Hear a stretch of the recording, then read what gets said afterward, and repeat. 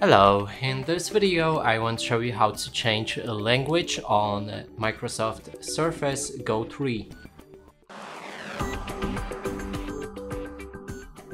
And to do this, first we'll need to click on the start, then select the gear icon and open the settings. Next thing is uh, the time and language, it should look like this, the icon. Now we're gonna go for the second option, which is language and region. And right here we can already set our different language for the system.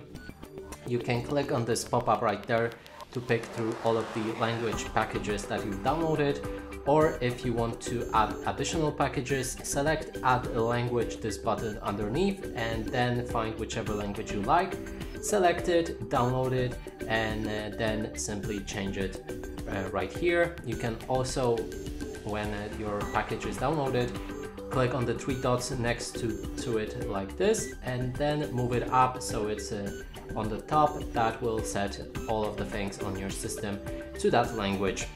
And that's it for this video, hope you like it, please consider subscribing to our channel, leave a like and a comment below.